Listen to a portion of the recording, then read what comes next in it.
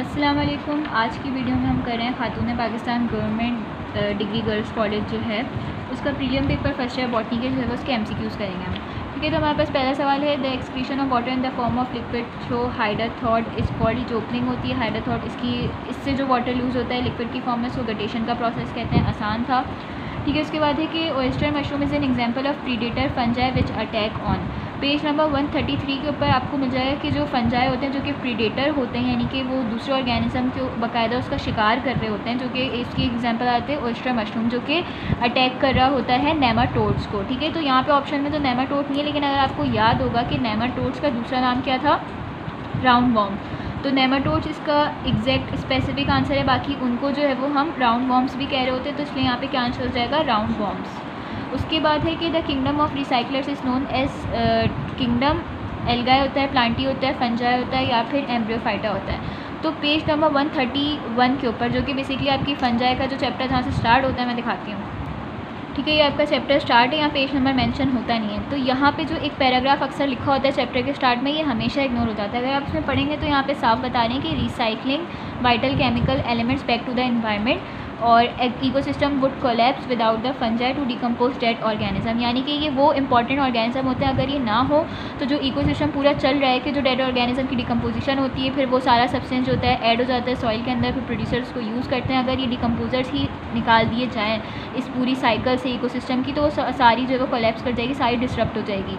तो इनका एक इंपॉर्टेंट रोल होता है, यानी कि ये जो डेड ऑर्गेनिजम्स होते हैं, उसमें से इस तरह के सब्सटेंस निकाल के सॉइल को वापस पहुँचा देते हैं या एक तरह से इन्वायरमेंट को वापस कर देते हैं, जो कि रीयूज़ हो सकें। ठीक है तो यहाँ पे इस रेफरेंस के हिसाब से आंसर क्या हो जाता है आपका फंजाई फंजाई के अलावा बैक्टीरियाज भी होते हैं, लेकिन अगर यहाँ पे बैक्टीरिया का ऑप्शन होता है तो आई थिंक हम उसको चूज़ नहीं करते फंजाई ही करते बाकी खैर, यहाँ पे दिया नहीं है इन्होंने, इसीलिए क्योंकि बैक्टीरिया और फंजाई दोनों डिकम्पोजर्स होते हैं। उसके बाद है तो endoplasmic reticulum with attach ribosome is known as तो आपको पता ही होगा कि जो रफ एंडोप्लाज्मिक रेक्टिकुलम होता है, वो रफ इसीलिए होता है, उसके ऊपर ग्रेनुलेटेड सब्सटेंस जो थे, वो राइबोसोम थे, और स्मूथ जो थी, यानी एस आर जो थी स्मूथ एंडोप्लाज्मिक रेक्टिकुलम वो इसीलिए नहीं थी, क्योंकि वो दे लैक राइबोसोम्स ठीक है तो आसान सी बात थी, याद करने वाली बात थी। उसके बाद था organism which fix atmospheric nitrogen in the soil fall under the category of तो जो डिकम्पोजिशन है या जो डिकम्पोजिशन एक अलग चीज़ होती है नाइट्रोजन फिक्सेशन एक अलग चीज़ होती है। इसको मिक्स नहीं कीजिएगा कि जो डिकम्पोज़र है वही जो है वो नाइट्रोजन फिक्सिंग है जैसे यहाँ पे सॉइल फंस जाए तो ये देखा कि भाई यहाँ पे एक हमने चीज़ पढ़ी डिकम्पोजिशन होती है, वो अलग चीज़ होती है। और नाइट्रोजन को फिक्स करना एक अलग चीज़ होती है। यानी एटमॉस्फेयर से नाइट्रोजन को लेके इस तरह के सब्सटेंस के अंदर कन्वर्ट करा देना, जिसको फिर सॉइल या फिर प्रोड्यूसर जो है वो सॉइल के अंदर ऐड करा देना, जिससे फिर उसको प्रोड्यूसर्स यूटिलाइज़ करें, उसको नाइट्रोजन फिक्सेशन कहते थे। कि अलग ऑर्गेनिज्म का काम होता है। ठीक है तो सॉइल फंजाई आंसर नहीं होगा।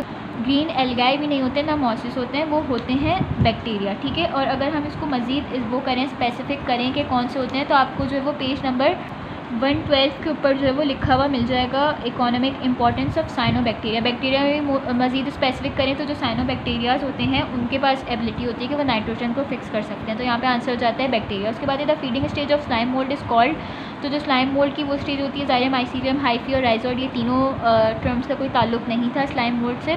प्लास्मोडियम का था। प्लास्मोडियम इसकी वो स्टेज होती है जिसमें वो जाइंट एम्यूबल आइगस का स्ट्रक्चर होता है। और वो बेसिकली क्या कर रहा होता है कि वो बाकायदा क्रॉल कर सकता है मतलब जो लीव्स होती है या जिस तरह के वुड होते हैं, जो कि रॉट कर होते हैं, जो सड़ गल रहे होते हैं, ठीक है? तो उनके ऊपर जो बैक्टीरिया होता है, उसको इंजेस्ट कर सकता है, उसकी, उस पर फ़ीड करता है ये। तो इस वजह से जो फीडिंग स्टेज हो जाती है प्लास्मोडियम हो जाती है, उसके बाद फिर ये चेंज होकर जो वो स्पोरेंजिया स्टेज के अंदर चला जाता है, जो कि इसकी एनिमल लाइफ होती है, जो प्लास्मोडियम स्टेज होती है। सॉरी, जो स्पोरेंजियम स्टेज होती है प्लांट लाइक होती है और प्लास्मोडियम जो होती है, उसकी एनिमल लाइक स्टेज होती है। उसके बाद होता है cytoplasmic connection which provide transport of water and solution to symplastic pathway is तो वो होते थे plasmodesmata page number three thirty five पर आपको लिखा हुआ मिल जाएगा। कि वो कनेक्शन जिसकी मदद से एक सेल का साइटोप्लाज्म दूसरे सेल के साथ कनेक्टेड होता है सब्सटेंस सॉल्यूट सारे जो होते हैं वो मूव करके आराम से जा सकते हैं तो वो प्लाज्मोडेस्मेटा कहलाते थे, जो कि सेल वॉल के अंदर होते हैं। ठीक है, उसके बाद है कि chromosomes with unequal arms and resembles letter J यानी इस तरह की क्रोमोजोम जिसकी एक आर्म जो होती है वो बहुत बड़ी होती है और एक छोटी होती है और इस तरह से वो जे की तरह लग रहे होते हैं। अगर आप उसको देखेंगे तो उसकी शेप जो होती है लेटर जे की तरह होती है। तो ये होते थे सब metacentric page number sixty two का आपको लिखा हुआ मिल जाएगा। फिर है which organelle is use as lysosome in plant cell तो मैंने जो आपको शॉर्ट इंपॉर्टेंट बताया था, उसमें मैंने आपको सवाल लिखवाया था कि कौन सा ऑर्गेनल होता है जो कि सब्सिट्यूट होता है लाइजोजोम का। तो देखें, ये पॉइंट आया हुआ है एमसीक्यू के अंदर। तो अगर शॉर्ट में ना भी आए तो एम के लिए एक इन्फॉर्मेशन इसके अंदर कवर हो गई थी उस सवाल से। क्या था? मैंने आपको आंसर बताया था कि वो होते हैं वैक्यूल्स क्यों होते हैं? रीज़न भी बताया था, क्योंकि इनके पास भी वैक्यूल्स के पास भी हाइड्रोलाइटिक एंजाइम होते हैं, इसलिए कि प्लांट सेल के अंदर एक्ट कर सकते हैं एज अ लाइजोजोम जिस तरह लाइजोम के अंदर होते हैं एनिमल सेल में। पेज नंबर सेवेंटी टू पे लिखा हुआ मिल जाएगा।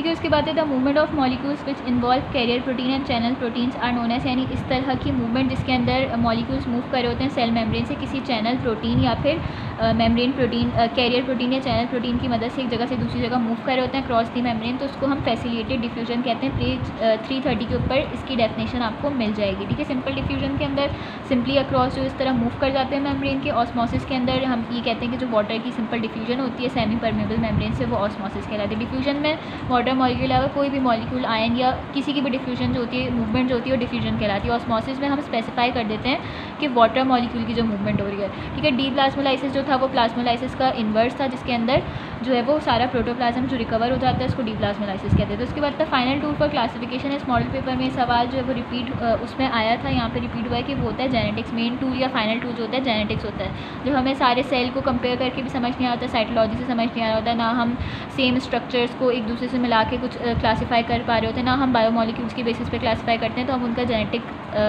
सीक्वेंस निकालते हैं जेनेटिक सीक्वेंसिंग करते हैं, उसकी जेनेटिक सीक्वेंसिंग और उसकी मदद से जो है वो फिर हम उसको कंपेयर करते हैं मैच करते हैं और क्लासीफाई कर सकते हैं। वो जेनेटिक्स के अंदर होता है सारा काम। उसके बाद था cell wall is secreted by page number sixty six पे आपको गोल्गी बॉडीज़ की जो है फ़ंक्शन में लिखा हुआ मिल जाएगा कि सेल वॉल इसको सेल वॉल जो होता है वो गोल्गी बॉडी सेक्रेट करती हैं। इसके अलावा इस पर रीज़न भी अक्सर आता है कि गोल्गी बॉडीज़ होती हैं वो क्यों ग्लैंडुलर सेल या सेक्रेटेड सेल्स के अंदर बहुत ज़्यादा एक्सेसिव होती हैं।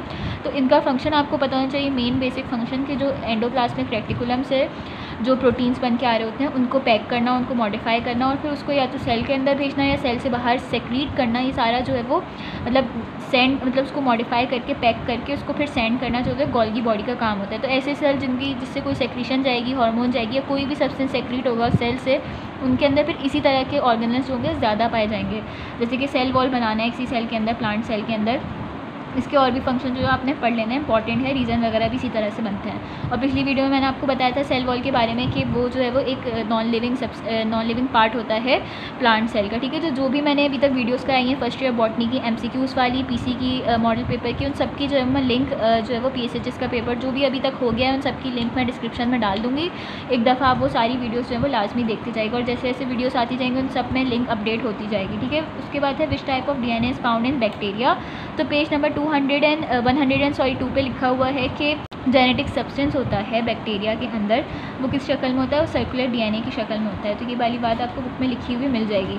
ठीक है, उसके बाद है कि closely related families are group together into तो मैं इसकी निमोनिक आपको जो है वो याद करवा चुकी हूँ कि इसकी होती है। आप इस तरह से याद रखेंगे, Khan P C O for गपशप। ठीक है? तो इसको हम इसी तरह से कर रहे होते हैं कि species into gender gender into family family into order तो यहाँ पे क्या पूछा है? फैमिली जो होती है वो ग्रुप हो रही होती है इंटू ऑर्डर इस इस निमोनिक से जो आराम से जो है वो सारी ये क्लासिफिकेशन जो है याद रख सकते हैं। उसके बाद है phyletic polyphyletic group of organism have been categorize under the kingdom तो वो होते हैं प्रोटोक्टिस्टा इसका रीज़न भी आता है कि क्यों होते हैं ये आपने बुक से पढ़ना है। मॉडल पेपर में इसका रीज़न मैं करवा भी चुकी हूँ। उसके बाद है the one which is motile पहले कह रहे हैं जाइगोस्पोर, फिर कह रहे हैं ऊस्पोर, जूस्पोर या ई प्लानोस्पोर जाइगोस्पोर को अगर आपको याद हो कि ये क्या होता है तो जाइगोमाइकोटा के करेक्टरिस्टिक स्ट्रक्चर होते हैं। आप पढ़ेंगे तो उसमें आपको कहीं भी इसकी मोटिलिटी से रिलेटेड कोई बात नहीं मिलेगी तो ये तो नहीं होते। मोटाइल पहला ऑप्शन हो जाता है कैंसर उसके बाद आते हैं ए प्लानोस्पोर के ऊपर पेज नंबर वन एटीन पे। क्लोरेला के अंदर आपको उसके स्ट्रक्चर जो है वो उसकी रिप्रोडक्टिव स्ट्रक्चर के तौर पर जो है ए प्लानोस्पोर लिखा हुआ मिल जाएगा। वहाँ साफ़ साफ़ लिखा हुआ है कि ये मोटाइल नहीं होते। ठीक है तो ये भी कैंसिल हो गया। उसके बाद जो आप वहीं पर पढ़ेंगे आगे के जो इस तरह के स्ट्रक्चर्स होते हैं डेवलप होते हैं जाइगोस्पोर के अंदर, उसके बाद अलवा के अंदर सॉरी जूस्पोर के अंदर, उसके बाद अलवा के अंदर भी आप पढ़ेंगे कि जूस्पोर जो होते हैं वो फ्लैजिलेट स्ट्रक्चर होते हैं। फ्लैजिला है तो यानी उसके अंदर मोटिलिटी आ गई। तो यहाँ से तो पता चल रहा है कि जूस्पोर ही मोटाइल है। बाकी सवाल आता है कि ऊस्पोर क्या होता है तो मेरे ख्याल से आपकी बुक में ये टर्म यूज़ नहीं हुई है। किसी को पता है तो बता दे कहाँ पर है। बाकी जो ऊसपोर होते हैं वो अलगाए फंजाए और ऊ मैकोटा के अंदर उनके जो होते हैं जाइगॉड्स होते हैं, और ये बिल्कुल भी मोटाइल नहीं होते बात ये तो कन्फर्म है। बाकी ये है कि ये ही एक है जो कि मोटाइल होता है तो यहाँ पे आंसर हो जाता है जूसपोर उसके बाद enzyme responsible for carboxylation and Calvin Benson cycles तो ये सवाल रिपीट हुआ है, आसान है रुबिस्को होता है। उसके बाद है mushroom belongs to this class तो ये होता है बेसिडो माइकोटा उसकी एग्जाम्पल्स में आपने इसको मजीद भी अच्छे से देख लेना है कौन कौन सी एग्जाम्पल्स थी बेसिडो माइकोटा के अंदर कौन कौन से ऑर्गेनिज्म इंक्लूड हो रहे थे। उसके बाद है anther filament are the parts of तो ये होते हैं स्टेमन के पार्ट ठीक है कार्पल के पार्ट्स जो थे, वो स्टाइल स्टिग्मा और ओवरी थी।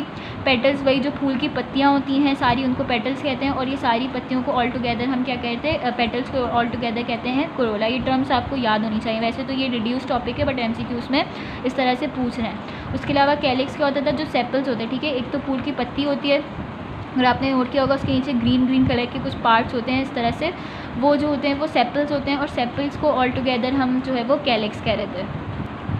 उसके बाद है Krebs cycle occur in this part of the mitochondria तो क्रैप साइकिल एक्जैक्टली हो रहा होता है जो इनर मेम्ब्रेन होती है माइट्रोकॉन्ड्रिया की उसके अंदर. आपको पता है इनर मेम्ब्रेन की जो इनफोल्डिंग्स होती है उसको हम क्या कहते थे? क्रिस्टाए ये आपको याद रखना है. और ग्रेना और स्ट्रोमा तो बता चुकी हूँ कि क्लोरोप्लास्ट वगैरह के स्ट्रक्चर होते हैं. और उसके बाद मैट्रिक्स जो होता है वो उसी का अंदर का सब्सटेंस होता है माइटोकॉन्ड्रिया के। उसके बाद एक group of plants in which each spore germinates into protonema तो जो करेक्टरिस्टिक गैमेटोफाइट थी, किसकी थी? मस्का या मॉसिस की थी। अगर यहाँ पे कोई और ऑप्शन होते, इस तरह से स्पेसिफिक नहीं किया हुआ होता, उन्होंने ब्रियोफाइट्स की क्लासेस को मजीद तो हम यहाँ पे ब्रियोफाइट्स भी चूज़ कर सकते थे।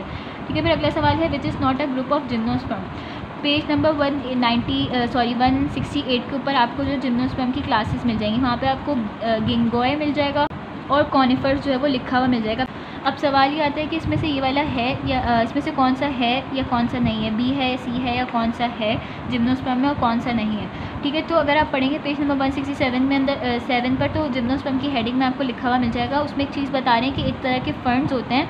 ठीक है, इसको देख के ये वाली जो टर्म है, इसको देख के आपके दिमाग में आ रहा कि फंड फंड तो नहीं होता स्पर्मोप्सिडा के अंदर या जिम्नोस्पर्म के अंदर तो आप इसको चूज़ कर लेंगे। लेकिन अगर आप पढ़ेंगे तो आपको पता चलेगा कि एक तरह के फंड्स होते हैं जो कि स्पोर की जगह सीड्स बनाते हैं। जिनको सीडेड फंड्स कहते हैं या सीड फंड्स कहते हैं, वो होते हैं बेसिकली टेरिडो टेरिडोस्पर्मी और इनको जो है वो हम स्पर्मोप्सिडा के अंदर या जिम्नो या कह सकते हैं कि जिम्नोस्पर्म के अंदर हम इनको इंक्लूड कर सकते हैं तो ये होते हैं। इसका क्या मतलब हुआ कि हमारा ऑप्शन बी जो है वो करेक्ट हो जाएगा, यानी इनकरेक्ट हो जाएगा जिम्नोस्पर्म की ग्रुप के लिहाज से कि इसके अंदर इंक्लूड नहीं होता। ठीक है, यहाँ पर आके चाहते हैं खातून पाकिस्तान के एम सी कंप्लीट किसी को कोई मसला हो तो कमेंट करके पूछ सकते हैं। अगर किसी ने चैनल को सब्सक्राइब नहीं किया तो चैनल को सब्सक्राइब कर दें, वीडियो को फ्रेंड्स के साथ शेयर करें। Thank you